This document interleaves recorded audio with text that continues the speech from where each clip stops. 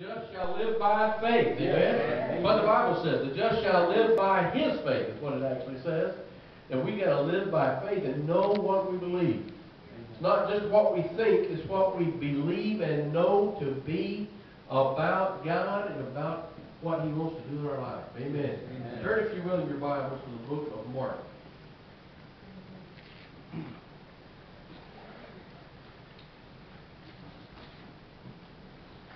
As you're turning, let me say, that faith that we have together, the faith in our walk brings our, our lives together. When we believe in one God, that He is our Father, guess what? That makes us brothers and sisters. And so I appreciate the works that we do together. I just want to tell you that as the Abundant Love Church of God, you're, you're part of something that's a last days movement of that faith in the world. You're a part of the Church of God that has over 7 million members in the world. At last count, it's 176 countries in which the Church of God, people of like-minded faith, just like you and me, we may not speak the same language, we may not have the same skin color, we may not have the same heritage and roots, but we believe the same thing. And you're a part of that group. 16,000 here in Indiana, in 100 churches, and you're a part of that fellowship called the Church of God. And together, this, this group of churches and people who believe the same way, you're doing great things. Every time you pay your tithe to the church, you're also helping the cause of world missions around the globe. You're helping be a part. Those of you who, who give in the world in the home missions area, you're part of church planting. Last week, we saw a new church, a Hispanic church up in Logansport. 160 people came into the Church of God last week and joined our fellowship. Became the hundredth church that we have in the fellowship, and you're part of that. Every time you give a tithe, every time you give a light missions gift, or however you're part of it. So we praise God for the partnership that flows from this church, and we know it, it is, is the result of everyone's work, but God also flows through your pastor. Pastor Ted Kahn and his lovely wife Holly, their leadership. God works through leaders. And you have rallied to him. You have seen in them the truths of a man of God. The Bible says that Jesus gave gifts to the church. He gave pastors, apostles, teachers, evangelists. And your pastor is a gift. He and Holly are gifts to you. And I appreciate the way you support them, you appreciate them, and it's, it is evident that there is a great unity here. And uh, Pastor, I just want to say I appreciate it. I appreciate your friendship, appreciate your commitment to the cause of God, and appreciate all that, that God is doing through this church. Mark chapter 10. I didn't tell you the verse chapter yet, did I? Mark chapter 10. To be honest with you, I struggled with the message this morning. And when I saw, walked in and saw all these young people, the Lord just confirmed it in my spirit that we should look at Mark chapter 10. Mark 10, verse 17. You'll have to excuse my voice this morning. I'm a little, got some congestion that I'm fighting, so uh, just bear with me if I have to just stop at some point. You know, God's answered my prayer. My clock has stopped working. My watch is not working. There's no clock on the back wall. So this is a preacher's best day. When he has no idea of the time. So, uh, seriously, we'll, we'll try to get, we'll get going here. Mark chapter 10, verse 17. Now, as he was going out on the road, one came running, knelt before him, and asked him, Good teacher, what shall I do that I may inherit eternal life? And so Jesus said to him, Why do you call me good? No one who is good but one, and that is God. You know the commandments. Do not commit adultery. Do not murder. Do not steal. Do not bear false witness. Do not defraud. Honor your father and your mother. And he answered and said to him, Teacher, all these things I have kept from my youth. And then Jesus, looking at him, loved him and said to him, One thing you lack. One thing you lack. Go your way, sell whatever you have, and give to the poor, and you will have treasure in heaven. And come, take up the cross, and follow me. But he was sad at this word, and went away sorrowful, for he had great possessions. Now this guy, we see him, he, he's young, he's probably tall, dark, and handsome, and you already know I don't like that. He's probably got a full head of hair, at least the pastor I have that common. You know, he, but he, he's he's young. He's he's played the game well. I mean, he he uh, he has uh, his law firm has boomed. He wears Ralph Lauren exclusively three button tailored suits. He he wears those soft Italian leather loafers. I mean, he he lives in a uh, in a suite on the top floor of the overlooking the city, in which he's heavily invested.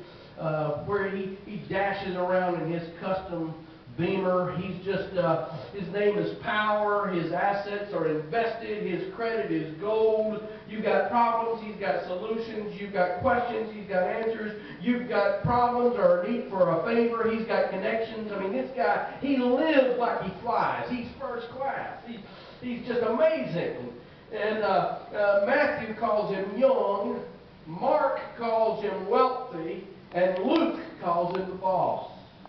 We know him as who? The rich young ruler in our story. We see now this guy has got it all together and everything seems to be going his way, but yet we find him here on this day in this in this true life story. I, I like to say that about the Bible. It's not just it's not a story, it's a true story. Yes. It's a true life story. And the Lord spoke in parables sometimes, and He gave illustrations through parables, but this was a true story. Yes. This really happened. And here we, we find in our story, he comes with some questions. He's, he's got a real sincere need to speak to Jesus. He, he has seen something in Jesus, and he comes without pretense. Can I tell you, if we're going to get anything from the Lord, we've got to get off our high horse. Right. We've got to come down off our pretense and, and realize he, he comes running. He's earnest. You know, I, I want to. I, I was so blessed by you, brother, when in the song service you just said, I, I just got to pray. You know, we're earnest about it. We, we got to be real about it. Amen. I love the, the name of your men's group, Brave Hearts. Now you eat at Denny's. I don't know how brave that is, but I don't know. Maybe that's real. That's real courage to eat at Denny's. I don't know.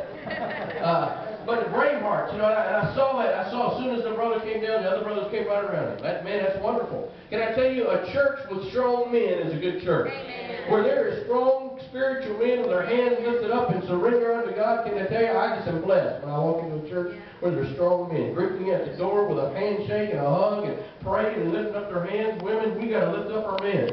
We got to pray that God just keeps them strong in the Lord. And uh, so he comes earnestly. He, he, he comes running to the altar, if you will. God, help us to come earnestly. And he comes humbly. He, here he is. He, he kneels. The Bible says he, he knelt down before the Lord. Now, uh, he, he, he, he, he comes earnestly. He's obviously, he's young, but yet he's, he's obviously wise beyond his years because the fact that he's a ruler. The Bible says, or indicates, uh, and Josephus is in his Antiquities lets us know that you can't be uh, younger than 30 years old in order to be a ruler. So he's He's probably about the same age as Jesus. He's realized that there's something missing in his life. Can I tell you, this man had it all. He had everything going for him, but yet he knows there's something not right. Amen. There's something missing. There's a piece of the puzzle gone. There's a there's a part, a link that is missing to what's going on. He's not fulfilled. He's he's got it all, but yet he's joyless. He's not experiencing life and abundantly. And he, he comes here in verse 17, he's unashamed. He's he's earnest and he's humble, sincere. He's laid aside the grandeur of his position and his title, and he's, he's kneeling before the Lord. Now, it was an ancient custom for people in the Middle East to kneel, but it never was a custom for a ruler to kneel down before a peasant. before somebody of this low estate, but he had seen something in Jesus. Oh, can I tell you? When you believe in Jesus, Carl was singing about, I believe in Jesus. When you know him, you realize there's something, there's something about the truth, and he bows his knee. Can I tell you, if you're going to receive from the Lord today or any day, you have got to come humbly before the throne of grace to find your help in the time of need. We can't come to him saying, Lord, I'm glad I'm not like so and so. Lord, I'm glad I didn't do that. I'm not as bad as he, he is, or I'm not as bad as she is. No, can I tell you, that's not the way to get anywhere to the Lord. Instead, the Bible said, if my people will humble themselves and pray and seek my face and turn from their wicked ways, then will I hear from heaven and forgive their sin and heal their land. We've got to come down. Oh, can I tell you, the Bible says, go down to Jerusalem. You've got to get off the high mountain of the temple and go down to where you will meet the Lord Jesus Christ. Yes. So he kneels down. He bends his knee. God help us to, to humble ourselves in the presence of the Lord. And his question, listen, he says, Good master, what must I do to inherit eternal life? Now, you know, when you approach the Lord, you know, he, he comes in and, as Carl was saying a minute ago, we, when we walk through the doors, it's such a good feeling. It's good to be greeted by people. And Pastor, I commend just the, the feeling of the church. But that's not the good that we're talking about when we when, the, when, the, when the young man says, good master. When you come into the presence of the Almighty, you can't help but recognize His goodness. The Bible says God is good. All the time. Hey, God good. He, he's not good one day and bad the next. He's not good yes last year and, and uh, he's just good. God is good. The Bible says God is love. God is good and God is faithful and God is, but when he comes and he says, Oh good master, can I tell you, Moses understood it Exodus chapter 33 when, when God put his hand on the cleft of the rock and he said, I'll make all my goodness pass before you, Moses. And the Bible says he removed his hand and surely Moses saw just the hinder parts of God in all of his goodness and his glory. Hallelujah. The Bible says in Psalms 34, he's abundant in goodness. Psalms 31 said, Oh, how great is his goodness. Psalms 34 says, Oh, taste and see that the Lord is good. Have you tasted of him? If you've been in his presence just a moment, you realize just how good God really is. He says, Good master. What must I do to inherit eternal life? Can I tell you? Young or old, black or white, rich or poor, it does not matter. Sooner or later, eternal life becomes a concern to every person. Because you see, nobody wants to talk about death. We don't want to die. I mean, death, death is, is desired only to be avoided. That's all we want to do. We want to avoid death. You know, we, we, we uh, death is feared, and as wealthy as he was, and as advantage, uh, the advantages that he had had, and the, and, the, and the status that he had acquired, and the goods that he had acquired, still something's missing. And he realizes that his own, regardless of how high and great and mighty he is, there is something that he cannot deal with, and that is his own mortality, his own death he had come to the right place. So when he said, Lord, what must I do to inherit eternal life? Can I tell you, he had come to the right place. He had come to the right source. Are you with me this morning? Amen. He had come to the right place because Psalm 36 9 says Jesus is the fountain of life. Yes. John 6 48, he said, I am the bread of life, and let no man hunger. If you're hungry, come unto me and eat. John 7 38, he said, I am the well of living water. He's come to the right place he's wanting to know about life because the Bible says in John 10 that he is the, the giver of eternal life. And the Bible says in John chapter 1, verse 4, in him was life, and the life was the light of men. Oh, he, he knows about life. When you, when you want to know about eternal life, he's come to the right place because he said, I am the resurrection and the life. No man comes unto the Father but by me. If you want to know life, access, he's the author of life. And John said, I am the way, the truth, and the life. What can I tell you? If you need to know about life, he's come to the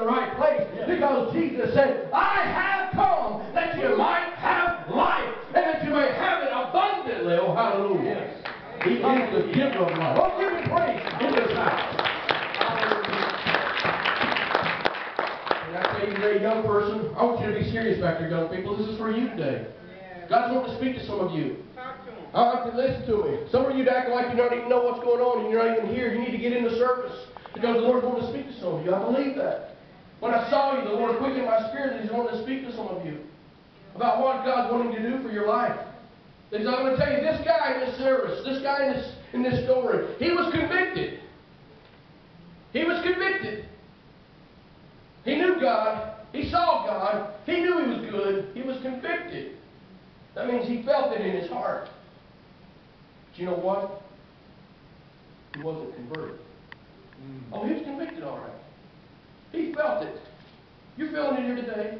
You can't, you can't be in the presence, in the Shekinah glory, manifest presence of Almighty God that we have in this house today and not know Him, and not feel Him, and not sense Him, and know that He's here. I'm not talking about just a little goosebumps in the back of your head.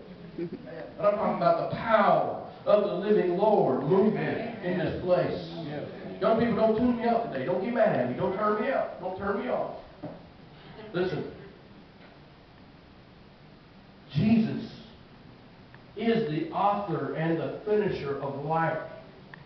The Alpha and Omega, the beginning and the end, the first and the last. Behold, I am he that have the keys of death and hell, and behold, am alive forevermore. That's the Lord we're talking about. Yes. He's got the keys of death, hell, and the grave, and he's got the keys to your life. Yes. Amen. And that makeover I was talking about is what Jesus wanted to bring this man. He wanted to bring this 35-year-old rich young ruler. He wanted to change his life. Yes. He didn't want to ruin his life. He wanted to, he wanted to make his life complete. Yes. And he was convicted about it. But sorrowfully. And now, if I ever get to the end of the sermon, he was convicted but not converted. And so the Lord looks at him. We've heard the boy's question. We've heard the young man's question. What must I do to inherit eternal life? He's, he's, he's worried about this thing. Brother Joe, uh, I understand you just lost a son. Joey, your brother. And you're all up here singing the gospel. Man, I, I just praise the Lord for you, brother. Amen. I, just, I don't know where your wife is, but I'm just telling you, God is good. And they know first and foremost how a young man can be taken out. And I don't know the circumstances, I don't know anything about it, but I know there's there's been a there's been a, a terrible day in that home. Don't you think it can happen to any of us oh, at any time? Right. We're mortal. We're finite. But God, through Christ, has the completion. Yes. He has the answer. Oh, he has the ticket. That old song, I've got my ticket and I'm ready to ride. That old train. You remember that song? He's got the answer. And he looked to the strict young ruler. And he asked him a question. He says, Why do you call me good? But why, why do you call me good? There's none good but God. Now listen. If you think the Lord is all about, you know, woo, it's all strange stuff. No, God is a God of reason. He's a God of order. He's a God of divine power and sets things in motion. And so he's reasoning with this reasoner. See, this is a lawyer. He understands reason. And so he, he turns the old courtroom right back on the lawyer and he says, Why do you call me good? For there's only one good, and that's God. You see, Jesus is not rebuking the lawyer. He's coming into his arena and he's asking him, in effect, Do you believe what? That I'm God. You see, he's trying to, you've called me good already. There's only one that's good, and that's God. So do you believe that I am God? Now, the young man, he already realizes Christ's goodness. But Christ is leading him now, not just to see the goodness, not just to taste and see that the Lord is good, but to crown him as the Lord of his life and the leader of his life. Okay. And this is instrumental, can I tell you? Every person in the house, young and old, the Bible says, He that cometh to God, Hebrews 11 6, he that cometh to God must believe, Right. I know what I believe, must believe that He is. I love how he stops there, Pastor. He just said, must believe that He is. that he is a rewarder of them that diligently seek him. Why? Why is he a rewarder? Because he's good. God is good. And that he, if we believe him and we believe he's God and we believe he's good, that he rewards them who diligently seek him. This man is diligent. He's come earnest. He's come in the middle of the day. He's not hiding behind a doorway at night like Nicodemus. He's out right in the broad daylight. He's kneeling on his face before God. He's earnest. He's diligent. And the Bible, God says, hey man, if you believe in me, I'll reward you. Yes. I'm ready to give it all to you. I'm ready to move heaven and earth. I'm ready to go to the cross for you. My God, we sang that just a little while ago. He went to the cross. He knows. The Bible says Jesus set his face like a flint to go to Jerusalem. Why? Because there's a great party in Jerusalem, big banquet in his honor, big coronation. No, he was going to Jerusalem to die as the eternal Lamb of God on the cross so that you and I might have eternal life everlasting. And he's saying, hey man, get out of your beamer and listen to me a minute. Lay aside your Ralph Lauren suit and hear what I've got to say a moment. I've got the answer for your life. Do you believe that I am God? Can I tell you, Jesus is God? Don't you make any mistake about it. Jesus is God. The Bible says, in him was vested all the fullness of the Godhead bodily. He is the divine I am that sent you. He is, the Bible says, in the beginning was the Word, and the Word was with God, and the Word was God. The same in the beginning was with God. There's nothing made that was not made by his hand, for all things consist by him. Hallelujah. He is God. He is, he is God come in the flesh. He is the God man. He, he came and we beheld his glory. The glories of the only begotten of the Father, full of grace and truth. Jesus said, if you've seen me, you've seen the Father. My God, in him live and move and have my being. Why? Because he is God. Yes.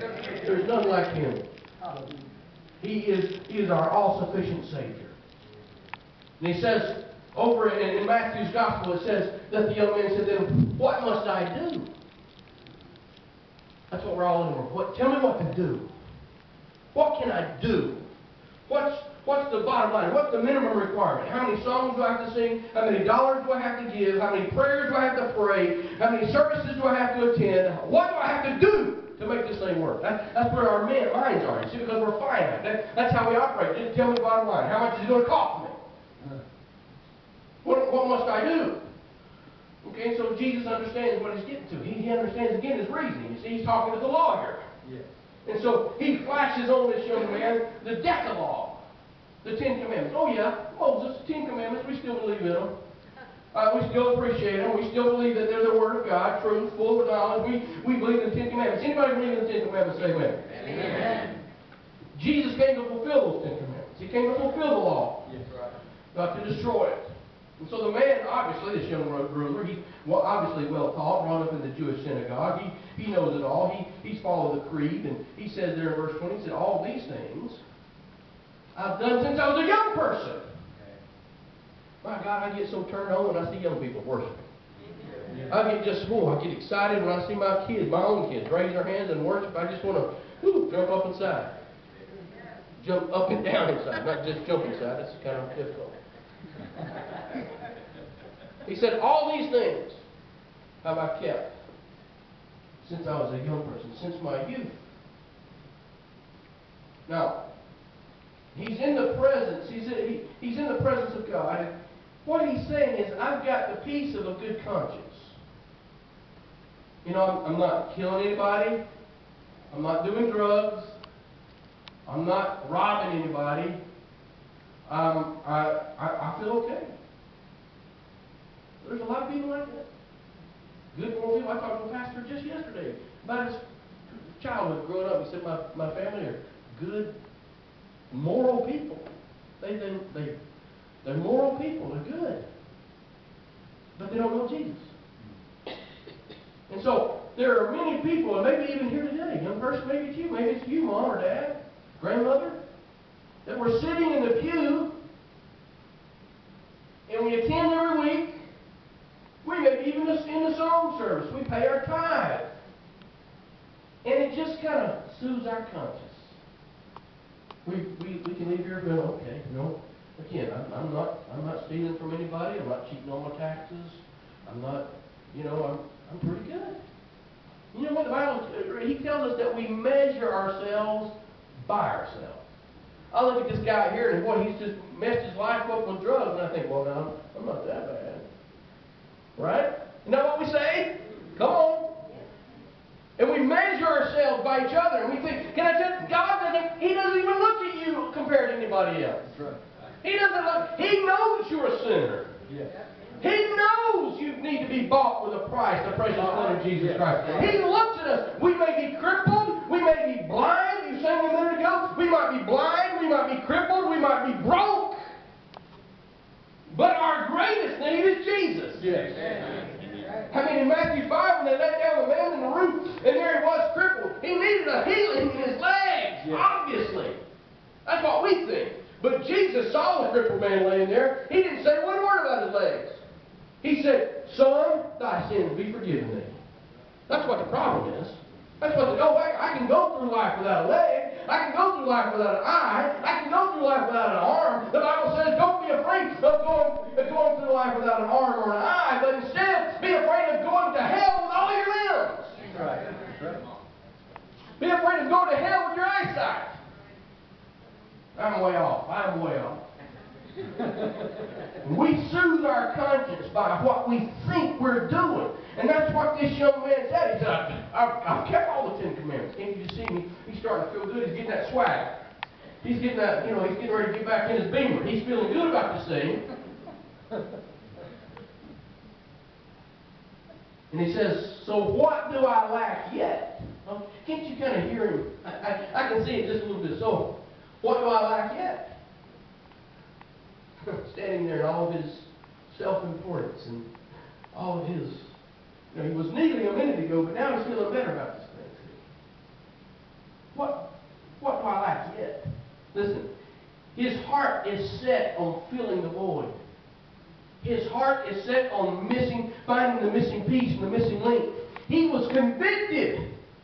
He is convicted. The Holy Ghost is all over him. The Holy Ghost has convicted him of his righteousness, of his unrighteousness, of judgment, of his sin. That's what Jesus said. The Holy Ghost will come. I will send the Spirit of God, and when he comes, he will convict this world of sin, righteousness, and judgment. And so he's feeling this conviction. There was, there was more to what's going on than what he's experiencing. God, help us to respond to the Holy Spirit's voice. And Hear me, I feel this so strongly. I may be talking to a house full of God-fearing Christians, but there may be somebody here that the Holy Ghost is saying, listen to me, and listen to the message that I have for you, and not be convicted, but be converted. I've got to hurry on. Christ, verse 21. It says in the, NIV, in the King James Version, it says, And then Jesus, beholding him, loved him. Boy, here again, I'm looking at my watch, it just says 10 after 11, we're in good shape. Don't even tell me what it really is. This is a heart melting voice. If you don't hear anything else I say today, if you're ready to go eat, listen to this. The Bible says, and Jesus, beholding him, loved him. Now, this is not a superficial glance. This isn't just a quick handshake when you come in the door. Hey, brother, how you doing? It's not just a friendly smile here. It's not just a, a, a look, but it is a divine, compassionate, all-inclusive, soul-searching look into the heart of this man. And in one brief instant, God of glory, Jesus Christ, knows everything about him. Every word that has ever come out of his mouth, he knows it. Every thought he's ever had, he knows it. Every lust he's ever had in his heart, he sees it. Every ill-spoken word, every judgment that's been gotten unfairly, everything in this man's life, the Lord in that moment beholds him and sees everything in his life. And the word says he saw it all, Holly.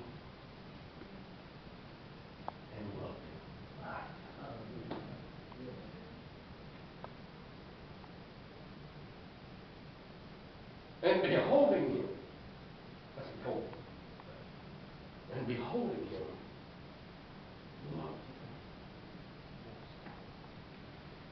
That's how he looks at you. That's how he looks at us. He looks at us. He, he sees everything that we are and everything that we are not. He sees the good, the bad, and the ugly. The bottom line is he sees it all and loves you. Hear me, Church of God, at Abundant Love. If there's anything we need to know, we need to know. Ephesians 5 1 says, As children of God, be imitators of God and walk as dear children, living a life of love.